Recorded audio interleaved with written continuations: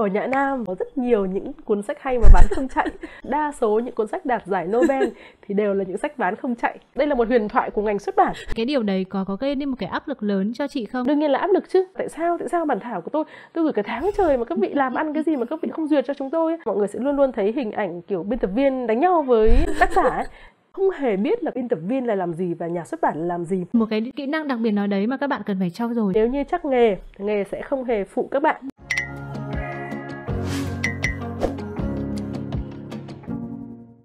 Xin chào các bạn thính giả. Um, Jole đã quay trở lại với các bạn rồi và ngày hôm nay thì ờ, chúng ta sẽ có một câu chuyện, một chủ đề mà có lẽ là rất là nhiều bạn đã nóng lòng bởi vì uh, Spy Room là nơi mà những kẻ mê viết sẽ tìm đến và chia sẻ những câu chuyện của mình. Và với cái câu chuyện về cái nghề viết đấy thì bản thân Jole cũng là một người đến với nó từ góc độ của một người yêu thích văn học này. Uh, yêu thích uh, cái việc viết lách chữ nghĩa. Và mình đã có thể có thể nói là trải nghiệm khá là nhiều cái khía cạnh ở trong cái công việc này.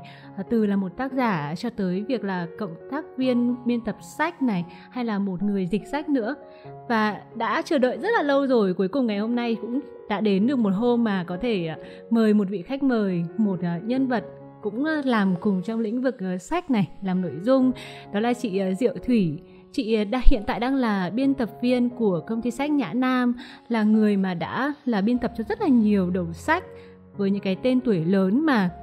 Phải nói là ở ở cương vị của em nha, thì em sẽ khá là căng thẳng nếu như mà có ai đó giao cho em một một tác phẩm lớn như vậy ví dụ như là uh, những tác phẩm như là đêm núm sen của Trần Dần này hay là tuổi 20 yêu dấu của nhà văn Nguyễn Huy Thiệp hay là đất mồ côi của Tạ Duy Anh đấy là những tác phẩm mà chị ờ, uh, chị Thủy đã từng từng tham gia đúng không chị? Em giới thiệu về chị đã đầy đủ chưa ạ?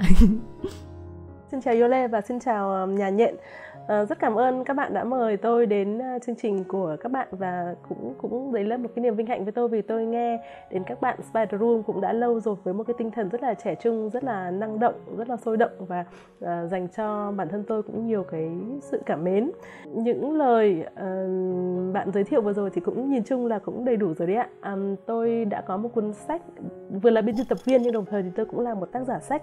Uh, năm ngoái thì tôi có ra cuốn sách là một tập tạp bút có tên là trong vòng tay mẹ uh, viết về những mẩu chuyện của hành trình những trải nghiệm của mẹ với con và sắp tới thì tôi cũng có một cuốn sách à, có lẽ là tháng sau thì tôi sẽ có một cuốn sách mới ra đời. Đấy là cuốn có tên là đu đưa trên ngọn cây bàng ừ, đu đưa trên ngọn quảng cây cáo luôn ở đây.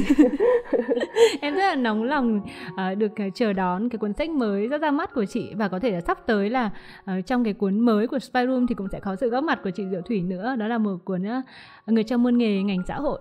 Thì với những cái đôi nét vừa rồi thì hy vọng là các bạn sẽ chờ đón chờ đón nha. Sẽ có những câu chuyện rất là thú vị mà chúng ta sẽ được chia sẻ trong ngày hôm nay. Và ngày hôm nay thì uh, câu chuyện chính của chúng ta sẽ là về nghề biên tập sách. Thì đầu tiên em sẽ có một vài câu hỏi vắn tắt. Em hỏi ngắn ngắn để các bạn có thể hiểu thêm về chị. À, câu hỏi thứ nhất đó là hiện tại thì chị đã là người gọi là đỡ đầu à? Bao nhiêu cuốn sách?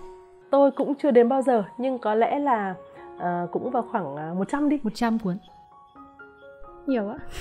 Tôi nghĩ thế tính tổng thời gian từ lúc chị bắt đầu vào nghề tới bây giờ là bao nhiêu lâu rồi ạ? Um, nó cũng có một um, quãng thời gian cách quãng một chút khi mà tôi chuyển sang làm những công việc nó hơi hơi liên quan chứ không chính thức. Thế nhưng mà uh, có lẽ là tôi cũng phải đến khoảng 13 đến 14 năm hoạt động ở trong lĩnh vực xuất bản rồi dù có thể ở những vị trí um, khác một chút nhưng đa số thì là ở vị trí của một biên tập viên.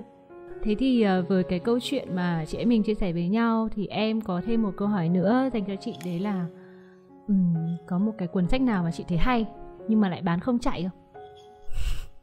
Ờ, ở Nhã Nam, nơi tôi làm việc thì có, nơi chị làm việc thì có rất nhiều những cuốn sách hay mà bán không chạy Và điển hình trong số đó thì là tất cả những cuốn sách, đa số những cuốn sách đạt giải Nobel thì đều là những sách bán không chạy Làm rất vất vả, dịch rất là lâu rồi in ấn ừ. rất phức tạp nhưng mà luôn luôn bán không chạy Thế ra lại có điều đấy nhỉ, có thể là có một cái lý do gì đấy không? Chị chị có chiêm nghiệm ra tại sao lại như thế không? Chị thì chị nghĩ rằng là đương nhiên văn chương Nobel thì sẽ ưu tiên sẽ đề cao rất nhiều những cái tính thể nghiệm ừ.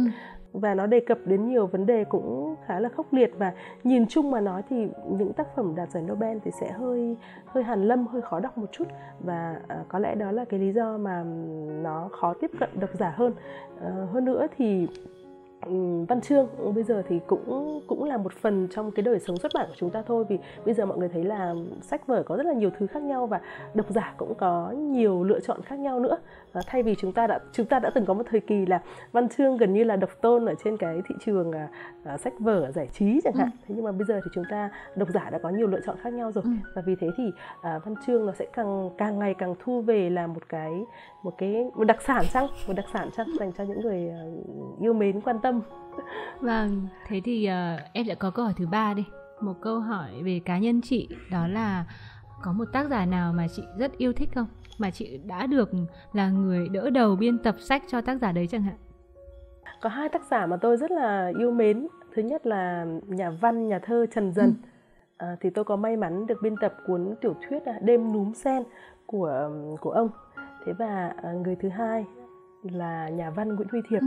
thì tôi cũng có may mắn À, được làm tới hơn hơn một tác phẩm của ông ấy trước đây thì tôi có làm cái cuốn à, vong bướm ừ. là cái cuốn một một cái kịch bản trèo của nhà văn Nguyễn Huy Thiệp và à, sau đó thì tôi có à, biên tập cho cuốn tiểu thuyết tuổi 20 yêu dấu ừ. của ông ở Việt Nam à, ở Việt Nam sở dĩ nói vậy là cuốn sách này đầu tiên thì được in ở nước ngoài nhưng mà ừ, tôi rất là mong muốn cái cuốn tuổi 20 yêu dấu được in ở trong trong nước cho nên là mình đã cố gắng để cho nó được ra mắt ở trong nước để nó làm trọn vẹn cái bộ sưu tập in ấn sách vở của Nguyễn Huy Thiệp. Thì cả Trần Dần và cả Nguyễn Huy Thiệp thì đều là uh, hai tác giả rất là quan trọng của văn chương Việt Nam. Cả hai ông đều có những đóng góp đều có những cái tính cái tính đột phá cái tính cách mạng trong cái sáng tác của mình. Và đó là hai nhà văn hai người viết mà tôi rất là hâm mộ. Chị rất là hâm mộ. Mình đã hâm mộ rồi mà mình lại còn có cơ hội được được à, đưa tác phẩm của tác giả mà mình yêu thích đến với độc giả thì cái lúc mà chị chị bị biên tập những cuốn sách như thế chị có cảm thấy hồi hộp không? Hay là chị có cảm thấy lo lắng là mình mình không thể biên tập được tốt những cuốn sách như thế? Ừ, đúng rồi đúng rồi khi mà Ờ, khi mà tôi được khi mà chị được giao cái cuốn đêm núm sen của uh, nhà thơ nhà văn Trần Dần ấy thì cũng cũng xúc động lắm. Bởi vì làm đó là một cái bản thảo đã được cất giấu ở trong cái cái kho lưu trữ của gia đình rất là lâu. Và khi mà Trần Dần viết cái tác phẩm đó thì ông biết chắc chắn rằng nó không thể in được ở thời điểm đó.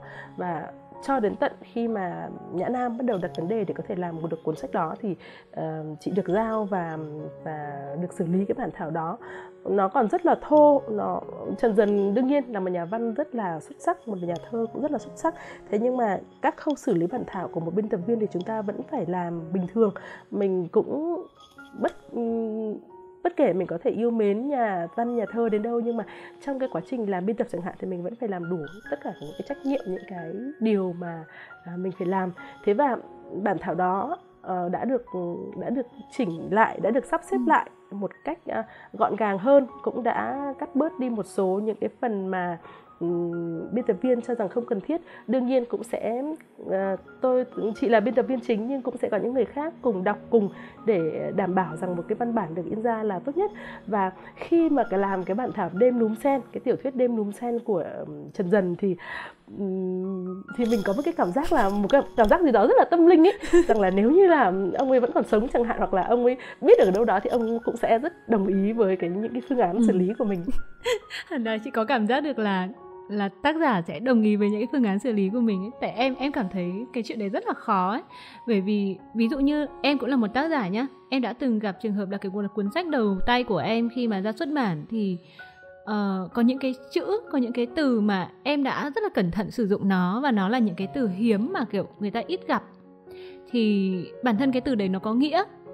Nhưng mà khi mà người biên tập viên bạn ấy đọc cái cái cái tác phẩm của em thì bạn ấy không hiểu cái nghĩa từ đấy và và bạn ấy sửa nó thành một cái từ khác mà em em cảm thấy nó nó không đúng là cái tinh thần em em đã nói với bạn ý và em có bảo với bạn ý là hãy sửa lại cho đúng. Thì đến khi cái cuốn sách của em nó nó ra đời này, nó được đưa đi xuất bản, em nhận cuốn sách trên tay, em thấy bạn ý vẫn sẽ sửa y như y như những gì mà bạn ý đã từng sửa. Thì khi vào cái thời điểm đấy thì, ở ở cái góc độ là một tác giả thì thời điểm đấy em em cảm thấy không được vui lắm. Bởi vì em cảm thấy cái từ đấy của mình, nó nó đã được không không được xử lý đúng đúng với tinh thần của đấy. Mặc dù là em hiểu được rằng là ai bảo mình sử dụng một cái từ hiếm. Mà lý do mà em dùng từ hiếm là là vì em bị chịu ảnh hưởng bởi các uh, học giả lớn ví dụ như là dịch giả biểu ý này hay là uh, các tác giả như Trịnh Công Sơn. Cho nên là cái cái văn phong của mình vào thời điểm đấy nó sẽ thi thoảng nó sẽ sử dụng một số từ của thời ngày trước ấy thì em hiểu được rằng là cái thế hệ sau có thể mọi người sẽ không cảm nhận được cái từ đó. Nên em mới hỏi chị là chị có hồi hộp và lo lắng không khi mà sử dụng uh, khi mà mình mình phải mình phải thế nào nhỉ? Biên tập sách của một tác giả lớn ví dụ như trong trường hợp của bác Trần Dần thì bác cũng cũng không thể confirm được cho mình ấy là là ừ thế thì mình mình làm có đúng có chuẩn không? Bởi vì dù sao thì thì thì bác cũng qua đời rồi. Đấy em mới đặt ra một cái thắc mắc như thế ngay từ đầu em muốn hỏi chị luôn. Đúng rồi. À, nếu mà với trường hợp ừ, cũng như mà em vừa kể chẳng hạn thì chị nghĩ là ừ, mình cần phải trao đổi với bạn biên tập viên một cách rõ ràng hơn. Có thể là em em đã sửa lại như cũ nhưng em chưa trao đổi rõ cho bạn ấy lý do cái em dùng những cái từ như thế là gì. Thì có thể bạn ấy không hiểu và bạn ấy sẽ vẫn giữ nguyên cái quan điểm của bạn ấy. Thì mình, chị nghĩ là sẽ lý do đó là thiếu sự trao đổi. Nhất là khi mà chúng ta vẫn còn đang có thể tương tác với nhau như thế này. Thì đối với trường hợp những tác giả đã khuất Ờ, đặc biệt là những tác giả rất là lớn như là Trần Dần chẳng hạn thì việc mà tham gia vào chỉnh sửa bản thảo của ông à, nếu như không nếu như chúng ta không động tay làm gì chẳng hạn in nguyên ra như thế nó sẽ là một bản thảo không chỉn chu và um, trong cái ekip biên tập thì mọi người đều thống nhất với nhau là đều uh, phải phải xử lý cái bản thảo đó để sao cho nó sắc nét cho nó gọn gàng nhất. Thế còn um, sẽ có những phần dườm già thì sẽ lược bỏ đi một chút. À, có còn từ ngữ hay là câu văn thì tuyệt đối sẽ không sửa một chút nào. À, biên tập viên có thể chia lại chương một chút để cho những cái um, tình tiết nó trở nên gọn gàng mạch lạc khúc chiết hơn. Và chia lại chương một chút thì có thể đặt tên chương. Nếu có đặt tên chương thì cũng sẽ dùng nguyên những cụm từ uh, tiêu biểu của cái chương đó để đặt lên tên. Chứ mình không xâm phạm vào câu chữ về trần dần thì rất là kỹ về về mặt câu chữ rồi. Thế và bản thảo đó đã được uh, cả một ekip biên tập thông qua. Đồng thời có một người cũng rất là quan trọng uh, cũng là người mà có cái giao thiệp rất là thân cận với trần dần. Đấy chính là uh, nhà thơ dương tường. Thế rồi cả gia đình của um, của nhà thơ trần dần cũng cùng xem cái bản thảo đó. Thế và đưa ra được một cái phương án thống nhất và đương nhiên thì chị là cái biên tập viên mà chịu trách nhiệm lớn nhất ở trong cái phần biên tập nhưng mà cũng đã được sự thông qua của cả một ekip cho và và như ban nãy chị nói là cái cái cái cảm giác về mặt tâm linh ấy mình nghĩ là uh, nếu mà thần dần giả dụ mà in sách ở thời điểm đó chẳng hạn ừ. thì sẽ có một biên tập nào biên tập viên nào đó cũng sẽ làm như chị ừ. thế và nếu như ở dưới suối vàng mà ông ấy ông biết được là bản thảo đang được xử lý thế này chị có một cảm giác rất là tâm linh là chắc là ông ấy cũng sẽ hiểu và và uh, chia sẻ với mình cái điều đó. Vâng, vừa mới bắt đầu chương trình thôi thì uh, chúng ta đã đi vào một câu chuyện mà em nghĩ là uh, chị mình đã khơi khơi ra một chút về những cái chăn trở hay là những cái khó khăn mà mà khi một người làm cái công việc biên tập một cuốn sách. Ví dụ như là ở góc độ của em đi uh, trong cuốn sách đó thì em là tác giả thì sẽ thấy là chưa gì đã có thể có thể thấy những cái mâu thuẫn nó xảy ra đối giữa là tác giả hay là biên tập viên hay là kiểu có thể là có những mâu thuẫn nó sẽ xảy ra với giữa các biên tập viên với nhau. Như chị nói là trong cả một cái ekip nữa thì chắc là chị mình sẽ đi sâu hơn. Và cái câu chuyện này ở cái uh, phần sau của chương trình đi. Em muốn quay trở lại cái khoảng thời gian ban đầu của chị trước ra à, cái thời điểm đấy cái cái cơ duyên nào đã dẫn chị đến với cái công việc trở thành một uh, người biên tập sách như thế này? Cơ duyên thì nó không sang trọng lắm đâu. Cơ duyên mà nói nói nói rõ ra thì nghe thì cũng rất là thê thảm. À, chị tốt nghiệp khoa ngữ văn trường à, đại học sư phạm hà nội và à, tưởng rằng sau này mình sẽ trở thành một giáo viên. Thế thì à, khi mà đầu vào của những cái năm đó thì trường khoa văn trường sư phạm đầu vào rất là cao. Ừ. thế nhưng mà đến 4 năm sau khi học xong thì cái cơ cấu xã hội ngành nghề nó cũng đã thay đổi và và nghề giáo viên cũng khá là thừa ừ. thế và mình đã lang thang chỗ nọ chỗ kia để tìm một chân trong ngành giáo dục nhưng mà ngành giáo dục vẫn quay lưng lại với ta thế thì đúng lúc đó thì và ở cái thời điểm đấy thì chị hoàn toàn không hề biết là công việc biên tập viên là làm gì và nhà xuất bản là làm gì. Hồi đó thì đương nhiên mình mua sách mình đọc sách mình hồi đó lại có những cái ở mình nhớ là ở trên chị nhớ ở trên đường La Thành hay là Được Láng ấy, có rất nhiều những cái bãi những cái vỉa hè mà người ta bày bán sách lậu rất là nhiều ấy. Rồi là sách lậu người ta bán cả vào trong ký túc xá của sinh viên thì là nó rất là rẻ và và mình mặc nhiên mua sách mình không không, không hề biết đến câu chuyện là một cuốn sách nó được làm ra như thế nào và và không hề hiểu được là cái ngành xuất bản đó là ai nó không hề có một cuốn sách hay có một cái chương trình như là Spider Room đang làm người trong môn nghề để để tìm đọc để biết nó là cái gì ừ. thế thì tình cờ lúc đó thì có một chị biết được tin là có một nhà xuất bản nhà nước ừ mà ừ, họ họ đang bắt đầu đăng tuyển. Thế thì mình cũng rất là ừ, trong lúc ừ, chết đuối vớ phải cặp thì bèn thi vào đó và không ngờ thì là thi đỗ. Thế và bén duyên với ngành xuất bản cho, từ đó cho đến nay. Mặc dù có một, hai năm gì đó thì chị cũng chuyển sang làm báo hoặc là một số công việc truyền thông liên quan một chút, nhưng mà đa số thì là vẫn ở trong cái ngành xuất bản. Thì không ngờ là mình đã bén duyên ngành xuất bản theo một cách đó. Thế thì trước khi vào nghề thì mình nghĩ là cái công việc này nghe nó cứ chán chán và chẳng biết nó là cái gì. Nhưng mà sau đó khi bắt đầu làm công việc và làm gắn bó lâu với nó như thế này thì thấy là hóa ra là công việc này nó cũng không chán như mình tưởng. Ừ. Vậy thì đến khi mà chị bước vào nghề rồi thì thì chị bắt đầu hình dung được cái công việc của người biên tập sẽ là làm gì ạ? Em, ngày xưa em đã từng là cộng tác viên biên tập sách nhá, thì đúng là cái công việc của em em thấy nó nó đúng như mọi người đã miêu tả nó đấy. Tức là đấy là công việc đọc bản thảo, rồi soát uh, chính tả này uh, sắp xếp câu từ hay là sắp xếp cấu trúc của một một cái cái tác phẩm nào đấy. Uh, và trong cái, cái cái lĩnh vực biên tập sách thì ngoài biên tập ở sách uh, tiếng Việt này thì mình cũng biên tập cả sách tiếng Anh nữa. Thì hai cái hai cái thể loại biên tập đấy nó cũng có những cái khác khác nhau. Thì ngày xưa khi mà em nghĩ là em không không làm biên tập sách thì cũng một phần lý do em nghĩ là em cả ngày em sẽ làm như này cả ngày à? Thì chắc là mình sẽ không phù hợp với công việc cả ngày ngồi bàn giấy. Và em nghĩ cũng có nhiều bạn cũng sẽ nhìn cái công việc đấy ừ. kiểu kiểu như thế. Thì ngày xưa chị có nhìn công việc nó như vậy không? Đến hay và đến lúc mà chị thực tế chị làm nó rồi thì chị thấy nó như thế nào? Mà chị thấy nó không chán như chị nghĩ ban đầu nữa Đúng rồi, thực ra ban đầu chị cũng chị cũng nghĩ như em vậy và xét từ tính cách của mình thì mình thấy mình cũng hơi hơi tăng động một chút ấy. thì nghĩ là một công việc bàn giấy rồi suốt ngày gò lưng sửa chữ này chữ kia rồi là xem xem mấy cái chữ rồi sửa sửa sửa sửa thì nghĩ là nó nó rất là chán và nó nó cổ quái nó nó tăm tối và nó nó buồn thảm ấy. Thế nhưng mà sau khi mình làm việc làm việc thật sự thì mình thấy hóa ra là công việc này nó cũng có những cái khía cạnh những cái góc ngách uh, năng động uh, thú vị và nó có nhiều những cái trải nghiệm phong phú hơn là mình tưởng. Thì vấn đề là mình lựa chọn như thế nào thôi. Thế thì Uh, cho đến tận bây giờ rõ ràng là trong xã hội cũng như là thậm chí là trong rất nhiều những người bạn trẻ bây giờ thì vẫn sẽ hình dung một cách đơn giản nhất là biên tập viên sẽ là những người sửa chính tả này sửa câu sửa chữ sửa bản thảo. Uh, thế thì nó cũng không hoàn toàn sai thế nhưng mà nó là một cái cách hiểu quá ư là đơn giản ừ. về công việc của một biên tập viên. Thế thì bây giờ thì chị sẽ nói kỹ hơn một chút nhé à, như em vừa nói thì có em nhắc đến hai thể loại. Ừ. thứ nhất là sách tiếng việt và sách tiếng anh. Thế thì hai cái loại này nó đòi hỏi những cái cách thức biên tập khác nhau. Thế thì um, tùy các đơn vị xuất bản sẽ có cái cách phân chia. Ở ở Việt Nam ở xuất bản Việt Nam nói chung thì vẫn hay có cái cách gọi tên tương đối là nhập nhằng. Nhưng thôi thế thì nếu mà chuyên nghiệp ra thì chúng ta sẽ phân ra làm hai loại là biên tập viên sách ngoại văn ừ. và biên tập viên sách uh, tiếng Việt. Thế thì biên tập viên sách ngoại văn họ sẽ biên tập cái gì? Uh, sách ngoại văn là sách đã được mua bản quyền từ các nhà xuất bản trên thế giới từ các tác giả trên thế giới về trong nước ừ. và biên tập viên ngoại văn sẽ là người tổ chức uh, dịch giả để dịch những cuốn sách đó sau đó thì họ sẽ biên tập bản dịch của dịch giả và đối chiếu uh, thật chặt chẽ đối với bản gốc để xem xem là dịch giả dịch đã chính xác chưa và dịch đã hay hay chưa ừ.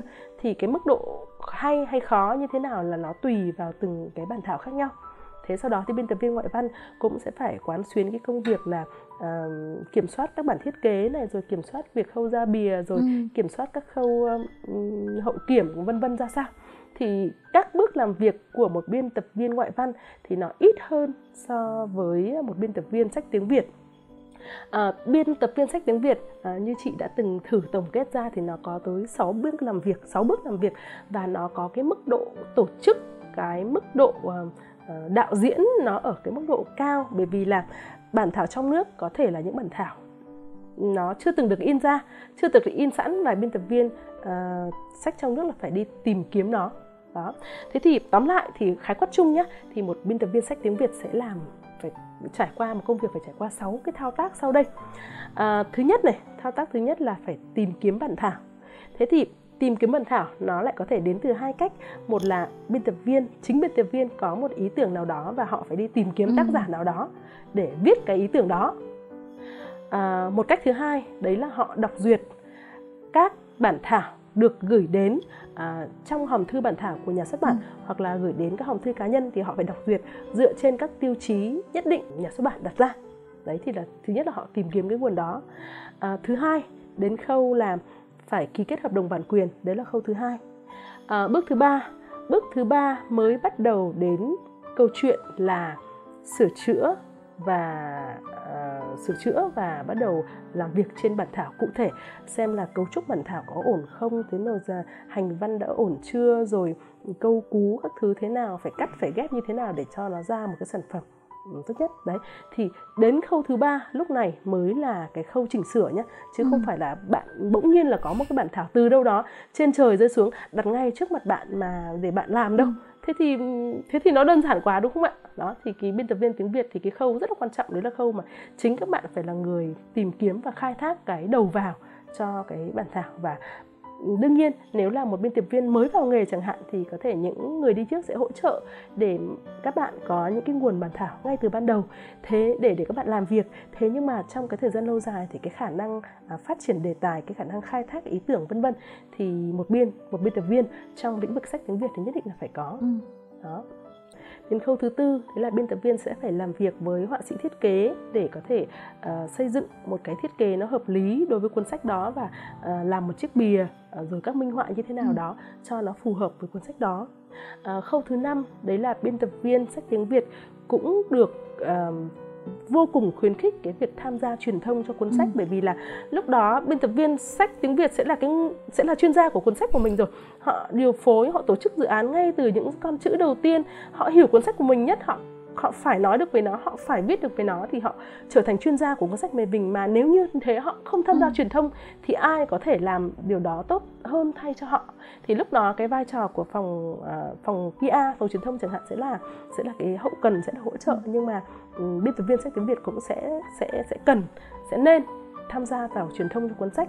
Và khâu cuối cùng khâu thứ sáu đấy là khâu chúng ta phải để ý đến đường đi của cuốn sách chứ. Ừ chúng ta phải biết là lượng bán của nó thế nào chúng ta phải biết độc giả nói gì về nó. Thì dựa trên những thông số đó chúng ta mới có thể quyết định là có tiếp tục theo đuổi đề tài này nữa hay không có tiếp tục làm việc với tác giả này nữa hay không và à, nếu làm việc tiếp thì sẽ làm như thế nào. Đôi khi chỉ là một cái comment của một độc giả ở một chỗ nào đấy thôi nó liên quan đến cuốn sách của chúng ta. Đấy cũng đã có thể là một gợi ý cho một đề tài tiếp theo rồi. Ừ. đó thì chị vẫn nói là công việc của một biên tập viên sách trong nước nó nó giàu cái tính tổ chức nó giàu cái tính đạo diễn nó giống như là một nhạc trưởng như là một người tổ chức dự án nó là ở chỗ đó. Thì tất nhiên là đối với mỗi cuốn sách thì nó sẽ đòi hỏi cái mức độ uh, can thiệp khác nhau uh, có những tác giả gạo cội uh, có kinh nghiệm viết thì mình sẽ không phải can thiệp quá nhiều vào nội dung nhưng mà tác giả trẻ tác giả mới ừ. chẳng hạn thì là đương nhiên um, biên tập viên sẽ phải tham gia rất là nhiều cho nên là nếu chỉ hình dung công việc của một biên tập viên à, là ở công độ sửa bản thảo hay sửa chữ sửa nghĩa chẳng hạn thì nó nó quá sơ sài và nó không khái quát đủ vai trò rất là quan trọng của ừ. một biên tập viên trong hệ thống xuất bản. Vâng, khi mà em nghe chị chia sẻ thì em cảm thấy nó rõ ràng hơn bởi vì uh, ví dụ như em mà nói đến góc độ là mình cũng có từng biên tập một cuốn sách nào đấy thì em sẽ ở góc độ của cộng tác viên đó là ở trong nhà xuất bản thì ừ. thì mọi người thường sẽ có thuê ngoài một số cộng tác viên để có thể làm cái công việc đấy ừ. thì em giống như chỉ là một cái mắt xích rất là nhỏ còn còn cái người biên tập chính thì sẽ phải làm rất là nhiều việc hơn thế để để có thể đưa vào trong một cuốn sách ừ. thì vừa rồi khi mà chị nói đến cái việc là phải phải đi vào rất nhiều trong cái việc can thiệp nội dung này hay là làm việc với các tác giả thì em thắc mắc là thế thì chị sẽ sử dụng cái tiêu chí nào để lựa chọn xem là uh, một tác phẩm này nó có phù hợp với với với nhà xuất bản của mình hay không này hay là với mình hay không hay là với thị trường hay không thì nó có trên một cái đánh giá nào để có thể lựa chọn một tác phẩm có thể thể xuất bản được không ạ? Ừ. À, đúng rồi khi mà bạn làm lâu cho một nhà xuất bản nào đó thì bạn sẽ hiểu được cái tiêu chí của nhà xuất bản đó với những tác phẩm phải đến từ những tác giả như thế nào và chất lượng nó phải đạt đến đâu thế thì nhìn chung mà khi mà có bản thảo gửi đến và uh, chị phải đọc duyệt chẳng hạn thì chị sẽ dựa trên ờ, ba uh, tiêu chí uh, nói ba cũng được nói hai cũng được bản chất của tất cả mọi bản thảo gửi đến đấy là cái bản thảo này nó kể câu chuyện gì và cái thứ hai nó kể như thế nào. Bản chất là kể cái gì và kể như thế nào nó chỉ có hai tiêu chí vô cùng cơ bản đấy thôi. Nhưng mà thỉnh thoảng thì chị vẫn ghi rõ ra là ba tiêu chí để cho nó dễ mọi người dễ hình dung ấy. À, tiêu chí thứ nhất là nội dung của bản thảo đó là gì? Tiêu chí thứ hai là cấu trúc của nó ra sao? Và tiêu chí thứ ba đấy là ngôn ngữ tức là vấn đề hành văn vấn đề cách viết thế thì uh, nội dung ở đây chúng ta hiểu là đề tài. Khi mà xem xét tiêu chí đề tài chẳng hạn thì biên tập viên sẽ phải đặt cái đề tài đó giữa rất nhiều những đề tài tương đương ở trên cùng thị trường chẳng hạn. Ví dụ như là du ký chẳng hạn thì chúng ta sẽ phải xem xem là uh, uh, nơi nào đã có tác giả nào xuất bản cái gì ừ. uh, có liên quan đến câu chuyện này hay chưa. Thì lúc đó thì biên tập viên sẽ phải có một cái bức tranh tương đối là tổng quát về thị trường để để cân nhắc để đánh giá được đề tài là tốt hay không hoặc là có đề tài mà nó chưa nó chưa xuất hiện ở đâu bao giờ chẳng ừ. hạn thì nó sẽ là một điểm cộng đó à, thế còn tiêu chí cấu, cấu trúc thì đương nhiên à, bản thảo cũng được yêu cầu có một cấu trúc tốt bởi vì là không có cấu trúc tốt thì bản thảo sẽ lỏng lẻo sẽ yếu sẽ không có một cái cốt để nó có thể đứng được thế rồi vấn đề của ngôn ngữ vấn đề của hành văn ừ, văn phải đẹp ngôn ngữ phải tốt nhưng mà tùy từng trường hợp lại yêu cầu những tiêu chí này cao hơn hay tiêu chí ừ. kia cao hơn ví dụ như có một tác giả mới tinh chẳng hạn ừ. Đưa đến một đề tài chưa được ai viết bao giờ. Mặc dù cái phần cấu trúc cái phần ngôn ngữ có thể chưa tốt lắm bản thảo đó vẫn sẽ được duyệt. Ừ. và uh, nhiệm vụ của biên tập viên là nâng cái phần ngôn ngữ nâng cái phần cấu trúc ấy lên ví dụ như thế. Thế thì có những bản thảo với nội dung cũng vừa đủ vừa phải uh, nhưng uh, cấu trúc của nó chưa hẳn là đã tốt nhưng tác giả là một người rất là có danh tiếng có uy tín trong xã hội ừ. và vấn đề được đặt ra là vấn đề rất hay chẳng hạn thì cái yếu tố cấu trúc chẳng hạn mình cũng có thể hỗ trợ để ừ tác giả ờ, có thể có được một cái bản thảo tốt hơn. Và đấy là những cái chỗ mà biên tập viên phải điền vào. Thế rồi đương nhiên ngoài những tiêu chí chính đó ra chúng ta cũng sẽ có thể tính thêm một vài cái tiêu chí phụ phụ khác. Ví dụ như là về nhân thân của tác giả chẳng hạn. Ví dụ cùng là một đề tài này thôi và cái lối viết cũng bản thảo là vừa đủ để in. Nhưng nếu là một tác giả có ảnh hưởng xã hội chẳng hạn thì đương nhiên ờ, thì chúng ta cũng sẽ duyệt cái bản thảo đó. Hoặc một bản thảo uh, nó không đến từ một tác giả nổi tiếng nó chất lượng ở mức ờ, đủ dùng. Thế nhưng mà cái vấn đề đó nó đang là cái vấn đề mà xã hội quan tâm thì bản thảo đó cũng sẽ được cân nhắc. Ừ. đó, thì biên tập viên sẽ phải linh động giữa các tiêu chí đó để đề xuất một cái ờ, bản thảo cho cái đầu vào của nhà xuất bản. Nhưng có trường hợp nào mà mình mình đánh giá tiêu chí nó là như thế này nhưng mà đến khi mình nghĩ là mình nghĩ là tác giả này ví dụ như là tác giả này cũng rất có danh tiếng này rồi là tác giả này uh, cũng có ảnh hưởng trong xã hội này thì mà mình lựa chọn tác giả đó như chị nói là cân nhắc. Nhưng mà đến khi xuất bản ra thì nó lại không có cái hiệu ứng như mình mong đợi. Trường hợp này chị có gặp nhiều không? Có chứ. Nói chung thì đây cũng là câu chuyện của chung của chung của mọi nhà xuất bản. À, bởi vì mình cũng không thể không ai có thể nắm tay chắc từ tối đến sáng được đúng không? Bởi vì à, uh, thị hiếu đọc của người đọc có thể thay đổi. Và bản thân uh, bản thân tác giả đó cũng đã thay đổi trong quan điểm của mình hay là cũng đã thay đổi trong cái cách tiếp cận với công chúng của họ chẳng hạn. Thế thì nó có cái chuyện uh, bán kém hay bán ế hay là thậm chí không bán được tồn kho vân vân thì cũng là chuyện bình thường và uh, khi làm trong ngành xuất bản thì chúng ta vẫn phải chấp nhận thực trạng đau thương đó thôi không có cách nào khác. Nhưng mà nhìn chung thì nếu mà nhưng mà nhìn chung thì chị thấy là những trường hợp đấy sẽ không nhiều đâu không nhiều. Ừ, nhưng mà nó vẫn có rủi ro như thế xảy ra thì thì nó có trở thành một cái áp lực hay căng thẳng cho chị không? Bởi vì nếu như nghe nghe chị nói thì em cảm giác như là cái trách nhiệm của biên tập viên rất lớn. Bởi vì từ cái khâu duyệt bản thảo bản thảo này nó có được xuất bản hay không thì cũng nằm ở trong trong trong trong cái cái đánh giá của một người biên tập viên chẳng hạn. Thì cái cái điều đấy có có gây nên một cái áp lực lớn cho chị không? Hay là Ừ, em muốn hỏi sâu hơn là sẽ có nhiều biên tập viên cùng tham gia cái việc đấy hay không? Hay là chỉ có một biên tập viên chính và đã gạo cội đã lành nghề rồi thì mới được được được làm cái việc đánh giá một tác phẩm xuất bản? Ờ, đương nhiên là áp lực chứ bởi vì nếu in một cuốn sách ế thì sẽ bị phạt doanh thu này. Đó. Thế rồi là mất mặt này. Đương nhiên là cũng mất mặt chứ. Ờ, đúng rồi thế nhưng mà cái việc đọc duyệt một bản thảo thì quyết định của một biên tập viên à, hay là cái ý kiến của một biên tập viên gạo cội đương nhiên là nó có trọng lượng nhưng nó không bao giờ là một ý kiến à, thay cho tất cả. Cho nên bất kỳ một bản thảo nào à, khi mà một biên tập viên thấy đối với mình là thấy được thì nó sẽ được đưa ra một ban của những người cùng với các biên tập viên cùng ban. Dù là trẻ hơn dù là già hơn dù ở màng này hay mảng kia các biên tập viên đó đều phải có ý kiến. Ờ, bởi vì chúng ta biết là trong cái môi trường xuất bản chẳng hạn thì khi mà đầu tư cho một cuốn sách thì nhà xuất bản sẽ phải đầu tư rất là nhiều tiền rất là nhiều nhân sự cho một cái dự án như vậy.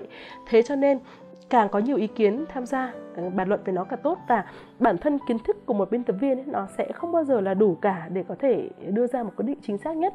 Thế thì là cả một ban như thế sẽ cùng ra ý kiến và lấy biểu quyết.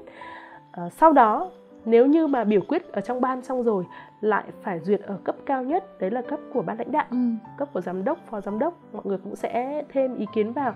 Thường thường thì đương nhiên ban giám đốc sẽ dựa trên ý kiến của của của ban cấp dưới thôi.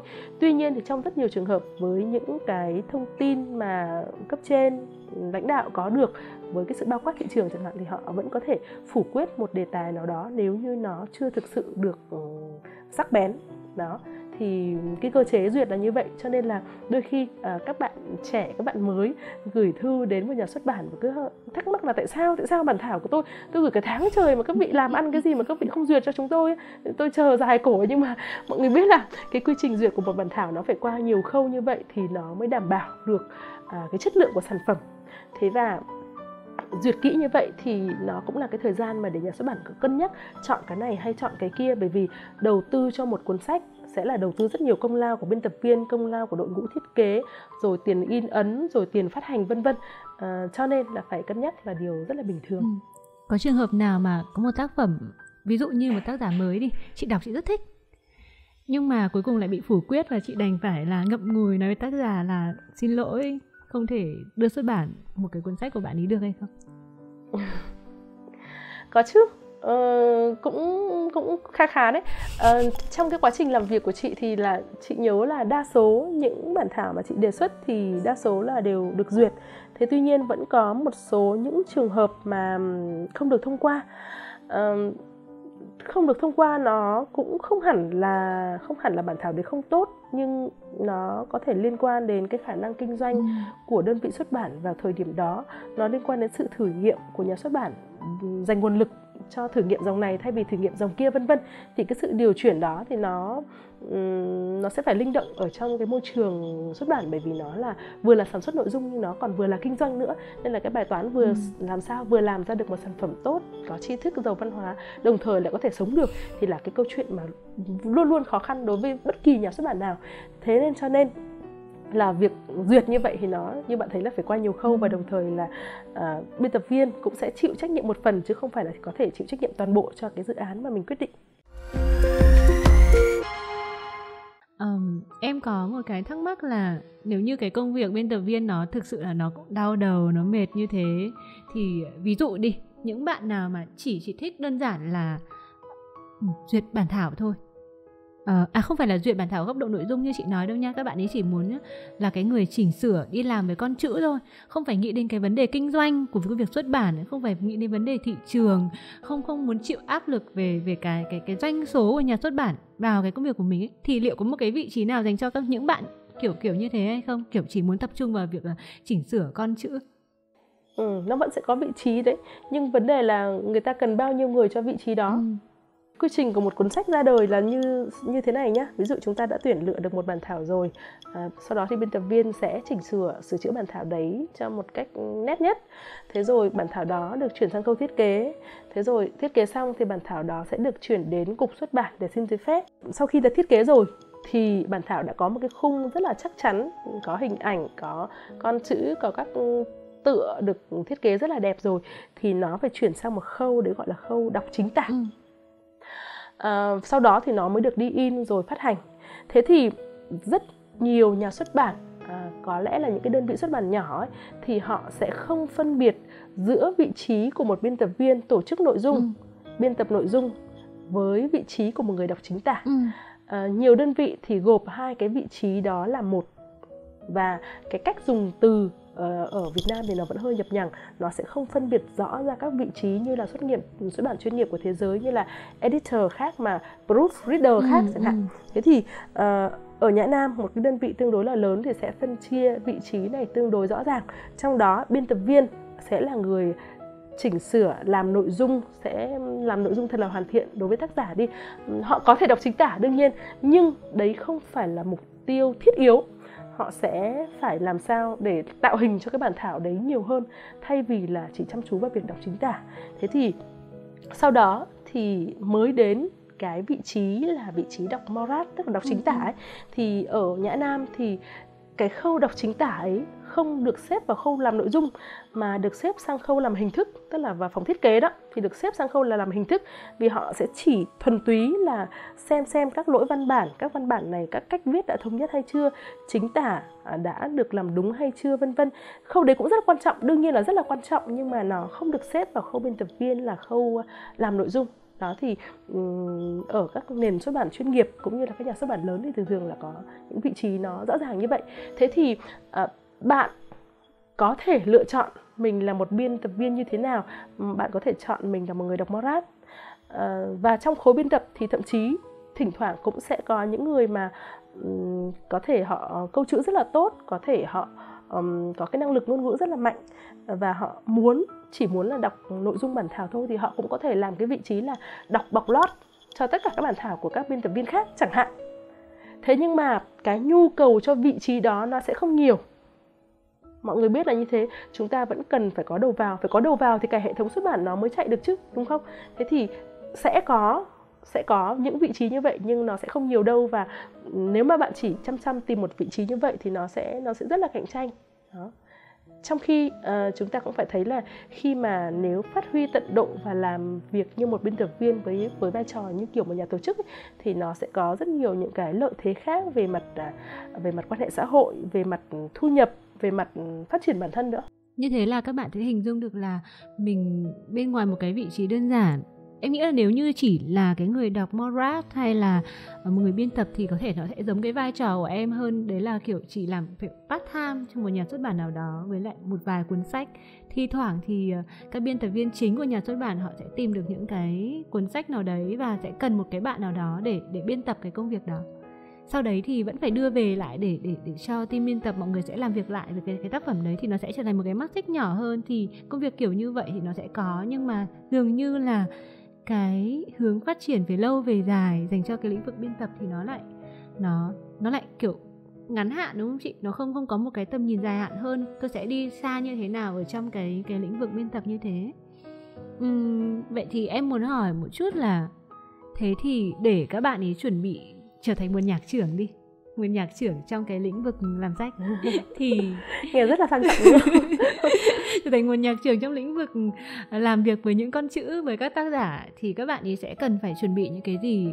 Có phải là chỉ cần uh, biết một chút về chữ nghĩa hay là uh, ví dụ như chị là là là đã kiểu học khoa văn của trường đại học chẳng hạn thì đi ra làm được hay không? Ừ. hay là ừ. cần một cái cái kỹ năng đặc biệt nào đấy mà các bạn cần phải trau dồi trong cái quá trình làm nghề thực ra thì ngành học đương nhiên nó quan trọng thế nhưng mà nó cũng chỉ là một phần thôi à, các biên tập viên ở chỗ chị chẳng hạn thì là đa số mọi người đến từ các ngành ngôn ngữ ừ. hoặc là văn hoặc là khoa học xã hội thế nhưng mà cũng cũng có khá khá người đến từ các ngành tự nhiên đấy thì ý là nếu như là bạn thấy mình có năng lực ngôn ngữ tốt cái năng lực ngôn ngữ này có thể tự trau dồi mà ừ.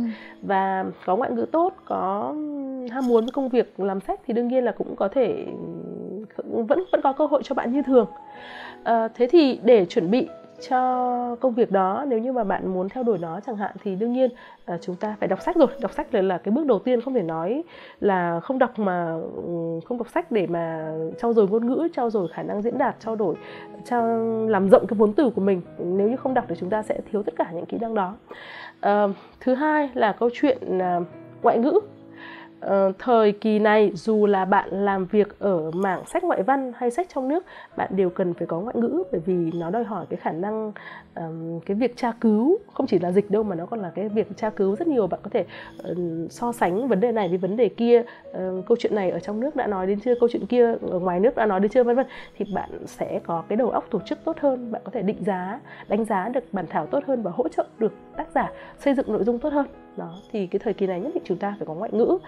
Um, viết tôi luôn luôn à, nghĩ rằng là một biên tập viên thì cần phải biết viết. À, ít nhất là hãy các bạn có thể luyện viết bằng cách là những cái bài tản văn nho nhỏ uh, kể những câu chuyện xung quanh cuộc sống của mọi người thôi hay là mọi người có thể viết những bài review ngắn ngắn về những cuốn sách mà mình đã đọc được. Thì một biên tập viên phải đòi hỏi có khả năng viết. Nếu như không không biết viết ở một mức độ nào đó chẳng hạn thì sẽ rất là khó khăn ừ. khi chia sẻ công việc đối với tác giả. Và đương nhiên trong công việc của một biên tập viên cũng sẽ có đòi hỏi những chuyện viết từ mức độ nhỏ đến mức độ lớn. Mức độ nhỏ là viết những cái phần text bìa ở trên cái bìa 4 ở sau đằng sau cuốn sách chẳng hạn. Rồi mức độ lớn hơn có thể là những thông cáo báo chí rồi lớn hơn nữa là mức độ review. Và thậm chí là cao hơn nữa là câu chuyện khảo cứu chẳng hạn. Ừ. thì uh, mức độ này hay mức độ khác thì đều đòi hỏi một năng, năng lực viết. Thế cho nên là việc cho rồi năng lực viết thì bây giờ là cái câu chuyện cũng nên phải tính đến. Và nếu để chuẩn bị thì tốt nhất là mọi người cũng nên tham gia vào các diễn đàn uh, các diễn đàn liên quan đến sách vở như Spider Room này như là Nhã Nam Reading Club hay là các uh, câu lạc bộ đọc sách tương đương để mọi người có thể nắm được các thông tin chung về xuất bản về sách Ờ, thì khi đó thì chúng ta mới có thể làm giàu cái vốn kiến thức và nó không bị quá ngỡ ngàng trong cái um, trong cái nền xuất bản này. Thế ngoài ra thì tôi cũng gợi ý tôi cũng mong uh, tôi cũng hy, hy vọng là trong đặc biệt là các bạn trẻ cái thời uh, Gen Z rồi sau Gen Z nữa uh, là phải có thêm những cái kỹ năng về uh, sử dụng uh, sử dụng cái phương tiện đa phương tiện để có thể làm giàu có thêm cho cái phần sản xuất nội dung của mình. Bởi vì chúng ta đang sống ở một cái thời kỳ mà chúng ta không thể biên tập viên cũng không thể tách mình ra khỏi cái câu chuyện đó đâu. Ờ, sau này uh, sách có thể bán được ở trên nhiều nền tảng khác nhau. Như chúng ta đã thấy là sách nói này rồi là sách um, ảnh thế rồi là các các các hình thức phát hành khác như là uh, TED Talk hay uh, Spotify rồi podcast chẳng hạn thì sách cũng sẽ được triển khai theo nhiều cái hình thức đa dạng và um, cái phần truyền thông cho sách cũng vậy, bây giờ chúng ta có tiktok, bây giờ chúng ta cũng có nhiều ừ, các thứ khác nhau. Thì thì biên tập viên cũng nên có những, có một chút kiến thức về đa phương tiện để chúng ta có thể hỗ trợ cái cuốn sách của mình được tốt nhất và luôn luôn để có thể trở thành chuyên gia cho cuốn sách của mình. Có một cái vấn đề nào mà chị hay gặp ở các biên tập viên mới vào nghề mà mà chị rất là muốn là các bạn ý khắc phục được? Mà chị đang nhìn thấy trong cái giai đoạn hiện tại em nghĩ là chắc là như chị bây giờ thì chị cũng sẽ là người, gọi là, không chỉ đỡ đầu cho cuốn sách mà còn sẽ phải đỡ đầu cho rất nhiều nhiều bạn mới vào và có rất nhiều những cái về chuyên môn các bạn ấy cũng còn non này, hay là cái kỹ năng cũng thiếu này, hay là cái sen ấy, tức là cái cảm nhận, tác phẩm hay là cái cái cái cái cái trực giác đối với một cái tác phẩm chẳng hạn những người mới thì trước hết là đó họ hay sẽ hay có một cái lầm tưởng là biên tập viên sẽ chỉ ngồi đọc bản thảo thôi. Cho nên là khi mà bắt đầu phải tiếp cận với công việc là tìm kiếm xây dựng đề tài thì sẽ cảm thấy hơi bị ngợp. Thì đương nhiên những người đi trước thì sẽ dìu dắt họ nhưng mà bản thân họ thì cũng sẽ phải cố gắng trong câu chuyện đấy. Và và đừng ảo tưởng là sẽ có bỗng như bản thảo ở đâu nó rơi xuống đầu ta và ta cứ thế ta ngồi ta làm thôi. Không có đâu. Đó. À, đương nhiên là bên khối ngoại văn ấy thì à, phòng bản quyền thì sẽ đi mua ừ. uh, sách từ trên thế giới về cho biên tập viên. Thế nhưng biên tập viên cũng ở những cái vị trí then chốt thì cũng sẽ phải có ý kiến về vấn đề bản quyền. Tác giả này nên mua hay tác giả kia nên mua hay không? Thì đấy vẫn là vẫn vẫn là có cái sự tham gia vào cái khâu mua bản quyền chứ không phải là không. Ừ. đó. Thế đương nhiên thì cái khâu bán mua bán bản quyền rồi là cái khâu mà tổ chức đầu vào thì bên khối tiếng việt đương nhiên là sẽ nặng hơn uh, nhưng rõ ràng là chúng ta thấy là nếu như bạn xác định là một biên tập viên với với với đủ cái thao tác của họ thì bạn phải phấn đấu cho cho khá nhiều cái kỹ năng. À, thế thì chúng ta trở lại cái câu chuyện uh, em vừa nói là các bạn biên tập viên mới đến thì là thường có xu hướng là hăng hái hăng hái sửa hăng hái can thiệp bản thảo một cách quá mức. Đôi khi có một bản thảo nó đã chỉnh chu rồi đôi khi câu chữ cũng đã rất là tử tế rồi nhưng mà cứ phải như thế này theo ý mình cứ phải như thế này thế kia theo ý mình và phải làm cho bản thảo nó choét choét hoành choét choét lên. Trông thật là kinh khủng ra thì mới thấy là mình đang làm việc. Thế thì cái sự hung hăng đó nó cũng chị cũng hay gặp ở những người mới đến và và cũng sẽ phải làm việc lại với nhau rằng cái câu chuyện là chúng ta sẽ có mấy nguyên tắc trong ừ. việc biên tập. Đấy là không sửa tương đương không sửa văn của tác giả có từ nào lạ phải tra cứu phải đàng hoàng chứ không cứ thế tự ý là sửa theo ý mình chỉ vì là cái cách diễn đạt này không hợp ý mình ừ. đó ừ. thì um, lúc đó thì những người có kinh nghiệm sẽ phải có những hướng dẫn có những chỉ bảo đối với những biên tập viên mới đến ví dụ một bản thảo chẳng hạn bạn đã sửa tất cả các chữ đến thành ừ. cái chữ tới chẳng hạn thì nó không có ý nghĩa gì cả hoặc là cái một ừ. cái câu này nó đã đủ ý nghĩa rồi xong bạn bạn chuyển sang thành bị động bạn chuyển lại thành chủ động ừ. chẳng hạn thì nó có thể nó không có ý nghĩa gì cả, nó mất thời gian và đồng thời có thể nó làm mất cái văn phong của của tác giả nữa. Ừ. khi em nghe chị ờ, chia sẻ điều này, em cảm giác là nó giống như là những những cái vấn đề chuyên môn rất cơ bản ấy. Thì mà các bạn các bạn biên tập viên mới lại gặp phải thì có phải điều này nó dẫn tới từ một việc đấy là mình chưa có một cái chương trình đào tạo bài bản dành cho người làm công việc biên tập sách không? Chị có nghĩ thế không? Um, chính xác là như thế đấy. Bởi vì là uh, theo chị được biết thì là những năm gần đây một số trường đại học đã bắt đầu mở ra những khoa về biên tập. Chúng ta biết là bên ờ, đặc biệt là bên trường báo chí à, thì có khoa học viện báo chí thì có khoa xuất bản. Thì lâu nay cũng đã có những cái bước đầu ờ, hướng dẫn cái công việc của biên tập viên rồi. Thế nhưng mà chúng ta cũng biết là ở bên đó thì dạy khá nhiều về vấn đề quản lý. Thay vì là dạy một biên tập viên làm nghề ừ. như một người làm nghề trong nhà xuất bản trong hệ thống xuất bản thật sự thế thì rõ ràng đấy là một cái sự thiếu hụt của xã hội nói chung. Thế và những năm gần đây thì các trường à, xã hội nhân văn đã bắt đầu mở ra những khóa biên tập rồi.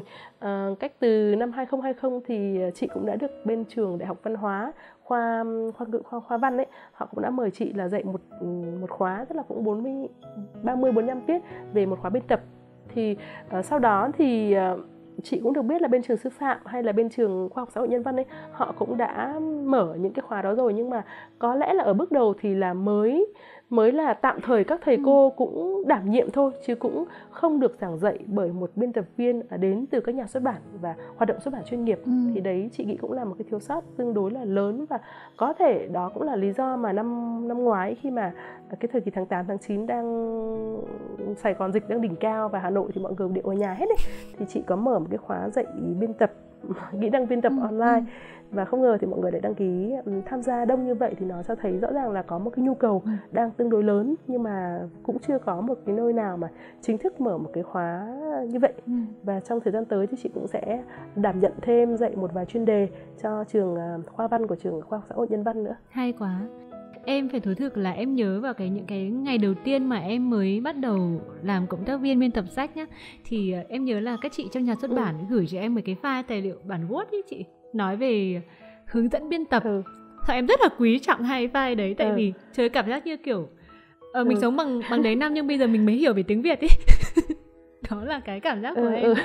khi mà em em nhận được một cái file về cái việc là ừ nó có những cái từ này là từ uh, nó sẽ đồng nghĩa này cái từ này nó sẽ dùng trong hoàn cảnh này này từ này dùng trong hoàn cảnh kia này.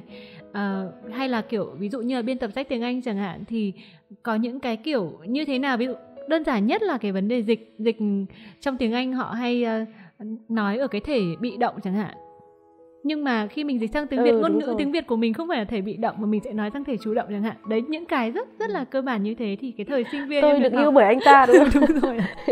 Thì em em cảm thấy là nó chỉ là một cái file bản cốt nó rất là ngắn thôi nhưng mà nó nó lại cho mình những ừ. cái kinh nghiệm rất là thực tế thì em nghĩ là các bạn mới vào nghề nên nên tập trung vào những cái đấy những cái rất cơ bản đấy đúng từ rồi, học rồi. từ các anh chị đi trước hay là từ cái việc đọc sách hay là uh, đọc từ các dịch ừ. giả lớn chẳng hạn nhiều khi người mọi người không hiểu được tại sao dịch giả lớn họ lại dịch nó thoáng như thế nhưng mà bởi vì đấy là cái văn hóa đấy là người Việt thế, đúng rồi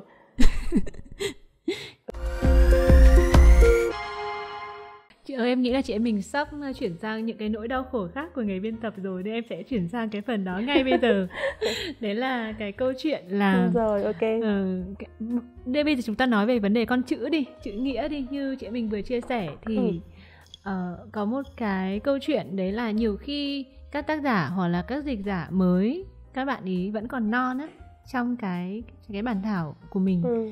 thì khi mà mà mình làm công việc biên tập thì rất là nhiều khi mình sẽ phải phải phải cứu cái bản thảo đấy lên rất nhiều lần. Nhưng mà đến khi xuất bản ra thì người ta không biết tới không không biết tới là ai là cái người đã làm cho bản thảo đấy nó nó nó được như như người ta thấy. Thì thì đấy có phải một nỗi đau đáu trong lòng của những biên tập viên không? À, nó sẽ có tình trạng đấy đương nhiên rồi. Đã có những trong quá trình làm việc mình cũng đấy chứng kiến là có những bản thảo mà và mà mình đã từng trải qua là nó là một cái phần nguyên liệu vô cùng thô. Và nếu không qua tay của biên tập viên chẳng hạn nó sẽ không thể ra hình hành hài một cuốn sách uh, gọn gàng sắc nét hấp dẫn như vậy. Hoặc là có những bản dịch chẳng hạn cái chất lượng bản dịch tương đối là thấp và nó qua tay khoảng một hai biên tập viên thì nó đã trở nó lên được mấy điểm. Thì tất cả những điều đó những điều đó thì độc giả người đọc sẽ không hề biết đến đâu. Ừ.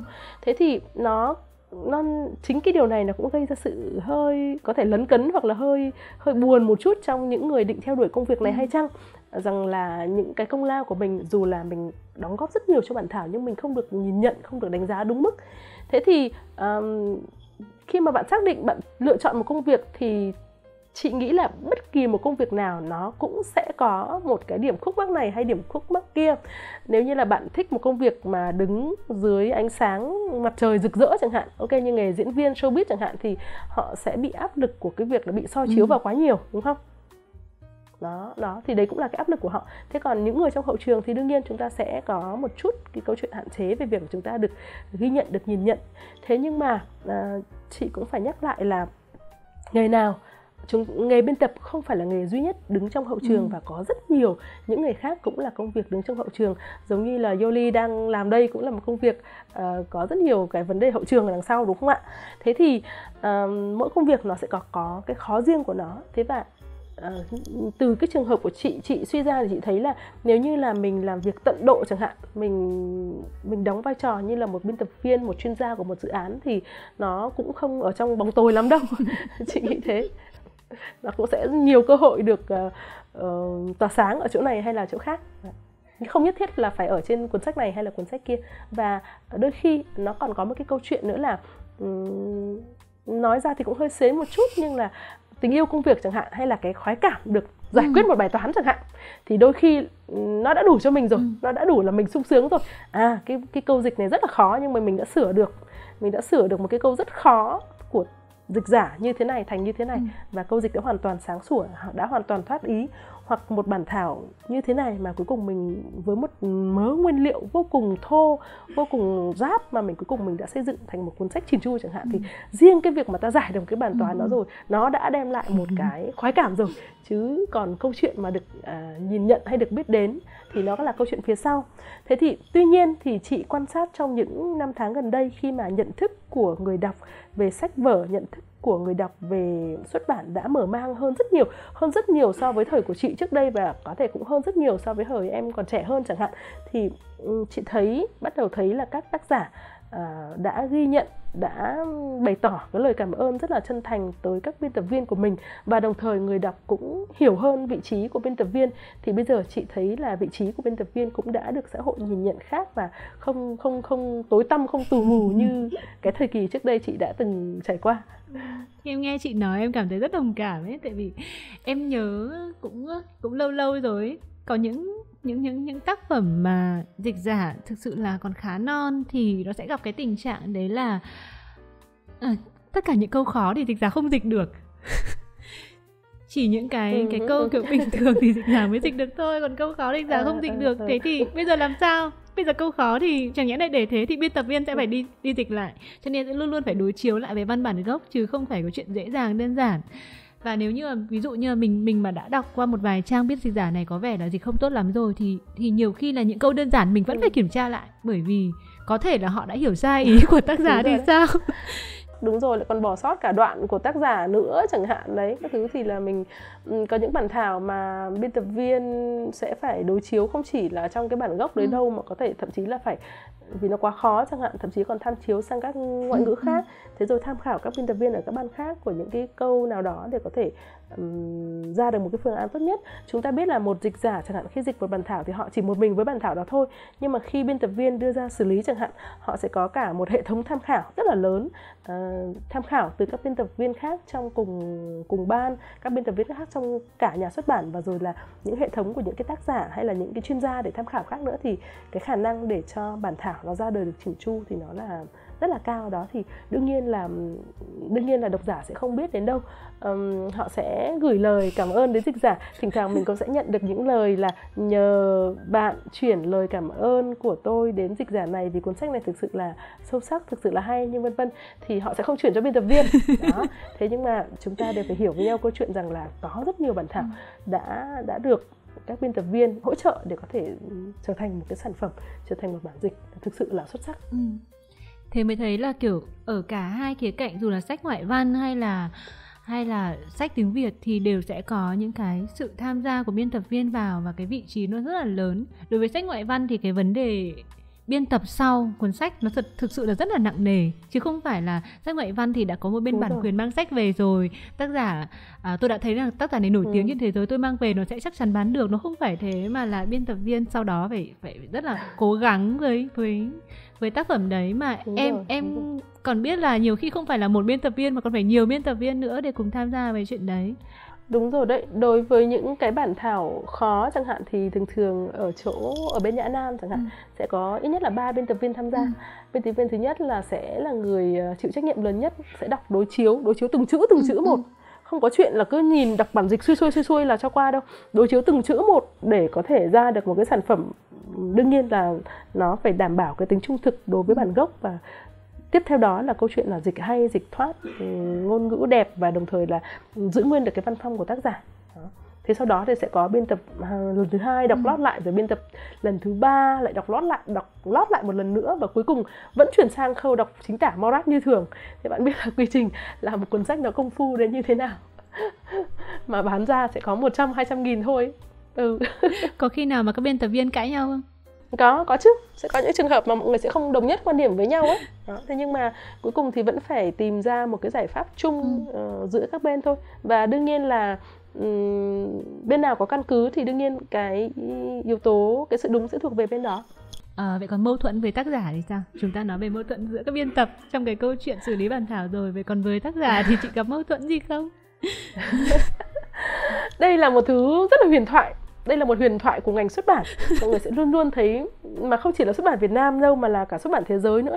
Mọi người sẽ luôn luôn thấy hình ảnh kiểu biên tập viên đánh nhau với ờ, tác giả ấy để đánh nhau chí chát các thứ để cuối cùng tạo ra một sản phẩm tốt nhất. Nhưng mà ở trong quá trình trải nghiệm làm việc của chị thì và chị quan sát những mọi người xung quanh nữa thì mình thấy cái không biết ở đâu ừ. nhưng ở với cá nhân chị và và những cái môi trường mà chị quen biết thì cái câu chuyện đó nó nó không không đến mức huyền thoại như là trên ờ, sách vở hay là báo chí mô tả đâu.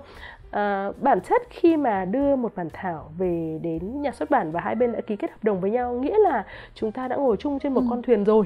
Thế và cả hai đều là có một thiện chí là đưa ra được một sản phẩm tốt nhất cho nên là tất cả các phương án đều được thỏa thuận đều được trao đổi với nhau.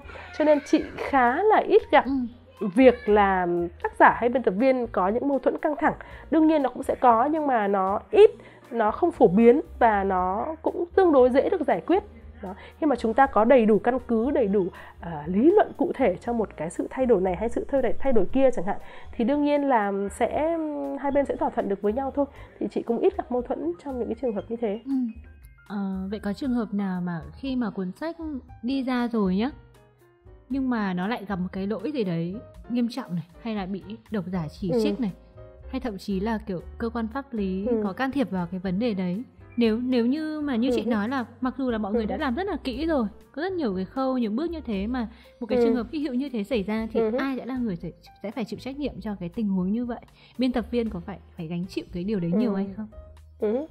à, lỗi thì nó sẽ có nhiều mức độ lỗi khác nhau à, nếu như lỗi thuộc về mặt nội dung thuộc về đơn vị xuất bản ừ. um, làm ra một sản phẩm mà nó không được chỉn chu chẳng hạn thì đương nhiên ekip biên tập viên uh, và ở cái mức độ mà độc giả phản hồi lớn ừ. và nhà xuất bản phải thu hồi sách về chẳng hạn thì đương nhiên nhóm biên tập viên sẽ phải chịu trách nhiệm cho câu chuyện đó thế còn những vấn đề liên quan đến câu chuyện pháp lý chẳng hạn thì nó nó khó hơn một chút lúc này thì nó không còn là câu chuyện của biên tập viên nữa nó sẽ là câu chuyện chung của nhà xuất bản nó nó liên quan đến pháp lý thì có nghĩa là nó chúng ta phải hiểu là đôi khi nó là cái vấn đề không hẳn là bản thảo đó tốt hay không tốt mà ừ. nó là cái sự mâu thuẫn giữa các quan điểm. Có thể có bên này cho cái bản thảo này là quan điểm nó như thế này nhưng bên kia lại có thể giải nghĩa cái quan điểm kia theo một cách khác.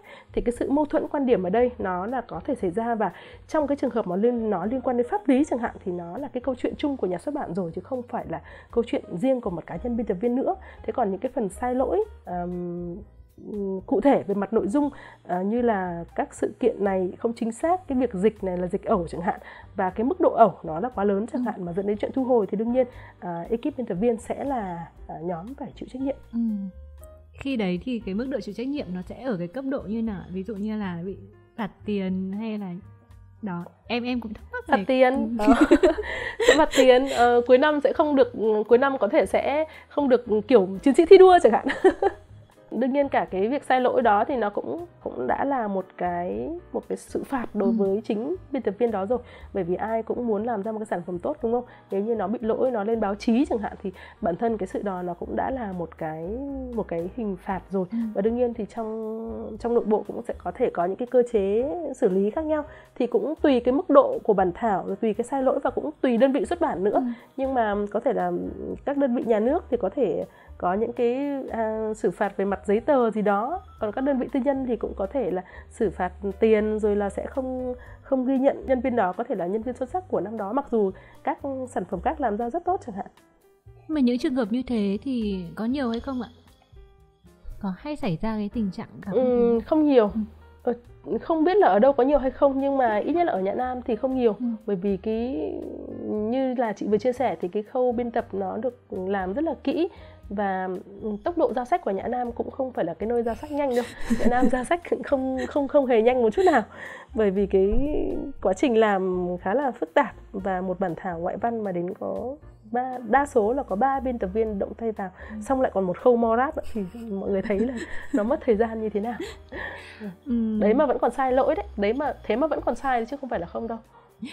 Vậy thì em ờ, muốn nói đến một cái khía cạnh nữa là nói sâu hơn đi. Ví dụ như là sau một thời gian chị rất rất rất là lâu chị làm cái công việc này, có lúc nào chị thấy chán không? Chị cảm thấy là ừ nó có nhiều niềm vui, có cái hay nhưng mà tôi vẫn cảm thấy là nó nó nó có gì đấy mình không muốn không muốn tiếp tục nó. Chị nghĩ là nếu mà chán ấy, thì nó nó là cái sự chán của cuộc sống của chúng ta nói chung ấy. Tức là dù em làm công việc này ví dụ một ca sĩ em cứ hát mãi thì đến một ngày em cũng sẽ thấy chán. Hoặc là em cứ làm đọc sách mãi thì cuối cùng sẽ có lúc nào em thấy chán. Nhưng ý là nó là nó là một cái câu chuyện nhất thời nó là một cái cái cái điều mà không phải là mình mình nghĩ đến nó nữa là mình có chán hay không hay mình bỏ nó đi sang nữa. Nó công việc bây giờ thì nó giống như là một cái gì đó tự nhiên rồi. Ừ. mình tự nhiên mình làm nó thôi. Mình mình có thể cuốn sách này mình thích có thể cuốn sách kia mình không yêu thích nhưng mà khi mà đã xác định làm một cái vị trí chuyên nghiệp ấy thì mình cũng sẽ uh, cố gắng để cho mỗi bản thảo nó ra nó được chỉn chu nhất. Thế và chị nghĩ là có thể ở cái tuổi giàu kinh nghiệm như chị ừ. thì vấn đề đặt ra không phải là mình mình chán hay mình không nữa. Uh, làm thôi đơn giản là làm thôi đơn giản là làm thôi. Tất nhiên cũng có thể đến một vài tuổi nào đó mình lại bỏ ngang đi buôn bất động sản chẳng hạn thì làm nó thì nó lại là cái câu chuyện mà nó thay đổi hẳn một cái ngã rẽ của cuộc đời thì nó lại là câu chuyện khác. Về à, cái câu chuyện cuối cùng thì em đang muốn nhắc tới một yếu tố đấy là người ta không chỉ nghĩ về nghề biên tập là nghề sống trong bóng tối mà người ta còn nghĩ nghề biên tập là một nghề ít tiền nữa thì thậm chí là có những người sẽ dùng chữ là kiểu liệu liệu làm về sách làm biên tập thì có phải sống kiếp sống mòn hay không? Đó thì thì chị chị nghĩ thế nào về cái vấn đề này? Tôi sẽ không nói với các bạn trẻ là các bạn ơi nghề này giàu lắm các bạn lao vào đi. Tôi sẽ không thể nói như thế. À, nếu mà chúng ta so sánh ra ngoài xã hội chẳng hạn nếu mà các bạn nhìn thấy những uh, hot girl thổi nến chẳng hạn ngồi kiếm được rất là nhiều tiền à, hay chúng ta có thể thấy ờ, những người đi buôn bất động sản thành công chẳng hạn thì họ có thể kiếm được cái phần lợi nhuận rất là lớn chẳng hạn thì nếu chúng ta có những cái so sánh như vậy thì nó rất là khập khiễng à, thế nhưng mà tôi luôn quan sát và tôi nhận thấy rằng là nếu như chúng ta chắc tay nghề à, ngày xưa các cụ vẫn nói là một nghề cho chín còn hơn chín nghề ấy. thế thì cái việc mà chín nghề cái việc mà trở thành à, một chuyên gia trong lĩnh vực của mình thì luôn luôn công việc sẽ không bao giờ phụ bạn. Trước đây tôi cũng đã nghĩ như như nhiều người nghĩ rằng là cái công việc này nó sẽ nó sẽ rất là đau khổ nó sẽ rất là mòn mỏi. Nhưng mà dần dần khi mà mình mình trải nghiệm thì mình thấy là ô hóa ra cũng có rất nhiều ngóc ngách để mình có thể phát huy cái khả năng của mình. À, nó vừa là phát triển bản thân đồng thời nó cũng vừa là tăng nguồn thu nhập nữa. Thế cho nên à, tôi khẳng định lại một lần là tôi không tôi không bảo các bạn là giàu lắm các bạn vào ngành này đi. Thế nhưng mà nếu như chắc nghề nghề sẽ không hề phụ các bạn. Các bạn sẽ có uh, đủ uh, thu nhập để có thể sống đẹp. Đó. Sống đẹp ạ. Phần uh, em nghĩ là cái cái cái từ sống đẹp này em em khá là thích đấy. Nó ừ, mình mình không không thể biết là như thế nào nó là là một cuộc sống nó nó thế nào nhỉ?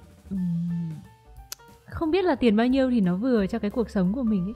Nhưng mà có lẽ là mình cũng muốn có một cái cuộc sống mà mình cảm thấy nó đẹp theo cái cách của mình ý nghĩa theo cái cách của mình thì về vấn đề thu nhập cũng quan tâm nó làm sao để nó nó nó có được cái đẹp đó thì em nghĩ là nó là một cái điều mà đúng rồi, đúng rồi. Uh, ai đó nếu mà chưa nghĩ đến thì có thể nghĩ đến về cái chuyện này xem sao uhm, về phía bây giờ thì cũng đã là cái cái cái cuối của chương trình ngày hôm nay rồi ấy. thì nếu như mà rút lại thì chị có điều nào muốn nhắn nhủ tới các bạn mà yêu thích con chữ mê viết mê làm việc với sách mê tò mò tìm tòi, học hỏi, khám phá nhiều thế giới. Khi mà bước chân vào nghề này thì có điều nào ngắn gọn mà chị muốn dành cho các bạn không?